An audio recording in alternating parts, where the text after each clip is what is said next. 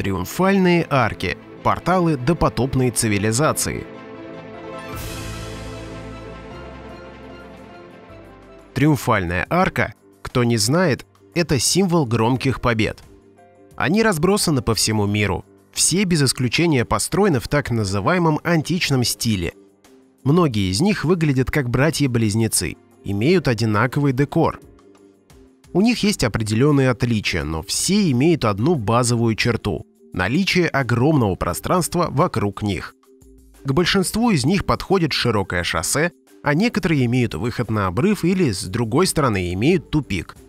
Это наталкивает на мысль, что изначально они создавались для определенных целей, имеющих необходимость переброски серьезных грузоперевозок. Давайте пофантазируем и предположим, что была такая технология, которая могла обеспечить переброски в пространстве. Куда шла переброска, каким образом, нам сейчас это неизвестно. Возможно, они сообщались между собой. И тогда отпадут такие глупые вопросы, как в исторические времена люди попадали с континента на континент или как перебрасывали свои армии для ведения боевых действий. Конный транспорт, скорее всего, был нужен разве что для экзотики в ритуальных целях, и потом уже в период после катастрофы в результате утери технологий. Судя по высоте арок, они также были рассчитаны для гигантов, а возможно ими и были созданы. В какую эпоху человечество могло иметь такие технологии, науке, как говорится, это неизвестно, поскольку она занимается именно тем самым, чтобы все это так и осталось неизвестным.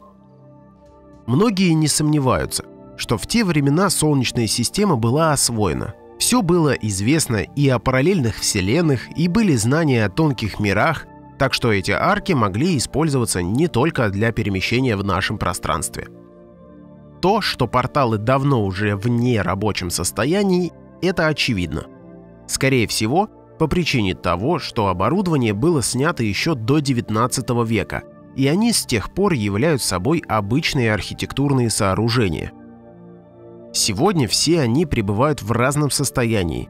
Одни выглядят как после бомбардировки, другие идеально, как, например, в Москве. Но надо учитывать, что эта арка есть лишь копия той, которая стояла на Бородинском поле – большевикам зачем-то было очень надо ее взорвать и растащить. В Питере есть даже тройная арка. Трудно представить целесообразность такого расположения. Хотя откуда нам знать принцип работы и дальность действия? Может, такое можно было использовать для транзитных перебросок. Официальная история утверждает, что все они были построены на славу и память великих побед, великим полководцам, воеводам а также в честь великих королей, властителей и кесарей в разных местах и эпохах. Здесь мы наблюдаем нестыковку, поскольку история совсем не помнит 80% побед в местах, где триумфальные арки стояли или стоят до сих пор. Например, помнит ли кто победу Барселоны над кем-то еще, кроме Реал Мадрида в футболе? Таких военных побед в средние века не зафиксировано, но арка в Барселоне стоит. Кому она построена? Кто победитель? Вот еще арка в городе Сария, Испания. Обратите внимание, как будто арка горела изнутри. Перегрузка? Сбой оборудования? И стоит она на возвышенности, явно не была предназначена для сквозного парохода. Арка в Мюнхене, на которой написано дословно «Баварскому войску», кого это войско победило. И таких побед история тоже не помнит. Хотя не исключаю, что после этого видео историки быстренько что-нибудь сфальсифицируют и предъявят миру, такие случаи нам известны. Арка в Риге. Помнит ли история доблестное превосходство и бравых солдат над неприятелем? Вопреки этому, триумфальная арка в Риге стоит. Рассмотрим север Африки – Оказывается, таких арок там полно. И надо признать, мы ничего толком не знаем об ее истории. Что-то дошло от Наполеона. Это он прорубил окно из Европы в Африку. Только останется вопрос, сколько реальной правды французы открыли? По всему выходит, что очень немного. Триумфальная арка в городе Тимгат, Алжир. Как видим, от города остались одни руины. В Алжире находится и вторая арка в городе Дьемила – Каракалова арка. Интересно, что по имени Каракала находится и арка в Марокко. Что это? Персональный портал? Арка Максима Севера в Ливии, город Лептис. И арка Септимия Севера также располагается в Ливии. Кстати, интересно, откуда взялось слово «север» у римлян? Может, север — это «се-вера»? Перенесемся в Азию. Кто думает, что там триумфальных арок нет, тот заблуждается. До сегодняшнего дня таких арок сохранилось немного. Две мировые войны и японская оккупация сделали свое. Японцы уничтожали эти сооружения впрямь с усиленным усердием. Но что-то осталось целым, а что-то было восстановлено по-новому. Вьентьян, Лаос. Тайвань. Теперь Индия и ее очень странные ворота в Индию. Так называется их арка, ведущая из суши в океан. А вот фотография тех же ворот в Индию, только используются они по назначению. Тут мы видим парад перед переброском войск. Вектор построения войск – центральная арка. И в противовес можно предположить, что это есть не что иное, как порт. И сейчас армия через центральную арку пойдет грузиться на корабли. А теперь посмотрим на Средний Восток. Кое-что там осталось запечатленное еще в средние века художником Пиранези. Сирия – город Латакия. В Иордании арок мало. Итак, вернемся в Европу. Арки здесь расположены, прежде всего, на западе в таких странах, как Англия, Франция, Италия и Греция.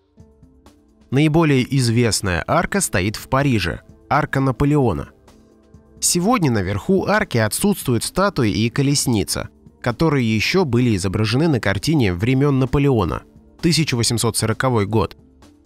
Возможно, тогда арка была рабочая и не разграбленная. Здесь мы также видим прибытие войск из ниоткуда. Оказывается, что в Париже две арки. Вторая находится рядом с Лувром. Она меньше, чем арка Наполеона но зато у нее наверху есть богиня Виктория с венком в руке. Там же есть арка в Марселе. Честь храбрым гланумским войскам есть арка в городе Гланум во Франции. Что за войска и с кем воевали, тоже неизвестно. А в городе Оранж, Франция, арку построили доблестной армией, о которой тоже никто ничего не слышал. Такое ощущение, что арки раздавали всем желающим налево и направо, словно это были карманные сувениры. В Англии арка Веллингтона победителя в битве у Ватерлоо. Вот это нам известно. Для кого в Глазго строили арку, непонятно, потому что Шотландия уже 400 лет под англо-велишским игом, так же как и ирландцы. Мраморная арка в Лондоне. И Рим не остался в аутсайдерах. Арка Титуса. Арка Константина Великого. Надо еще Грецию упомянуть. Афины. Арка Хадрияна.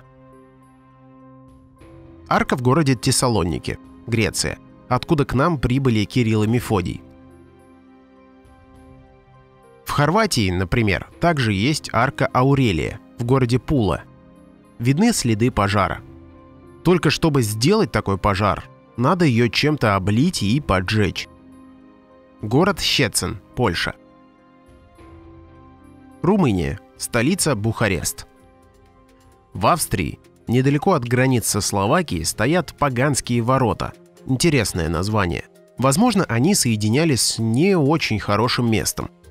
Перед воротами стоит какое-то сооружение, к примеру, устройство для блокировки или уничтожения того, что не должно было попасть на эту сторону. Как вариант. Наконец, очень странные ворота в столичном замке Словакии в Братиславе. Ворота, которые ведут буквально никуда. И это не арка. Возможно, не достроили запланированное или просто такой декор. Разглядывая арки, приходит на ум, что все это глобальная система перемещения людей и вещей на большие расстояния – а какие-то, возможно, даже пространственно-временные порталы. Запускается открытие портала голосовой командой «Куда тебе надо?» и бортовой компьютер портала сделает все самостоятельно. Почему голосовое управление? Смотрите сказки. Никто не тычет в клавиатуру. Технологии тех времен давно перешагнули эту ступень, только названы волшебством и колдовством. Размещение этих порталов по всему миру очень подходит для такой функции. Такие же арки-ворота есть в Узбекистане, Киргизии, Казахстане, Китае, Армении, Узбекистане и так далее. Многие арки были уничтожены катаклизмами 18-19 веков. Как докладывают мастера стиля капричо, руинописцы, многие были отремонтированы, но уже повторно не были запущены. То ли изменились природные условия, то ли оборудование было демонтировано, нам этого не доложили – Гитлеровская Ананербе наверняка хорошо про это знала, но не была уверена, в каком состоянии находится арка. И потому Гитлер, возможно, не рискнул по взятии Парижа победным маршем провести армию через арку Наполеона. Хоть каждый другой победитель бы сделал точно наоборот. По истории это должно быть символом высшей доблести. Так это было или нет, у нас нет доказательств. Но рассмотрим еще одну любопытную картину из галереи города Братислава, Словакия, на которой в Триумфальную арку входят немецкие имперские войска после взятия Парижа, а на другой стороне не выходят, просто в арке исчезают.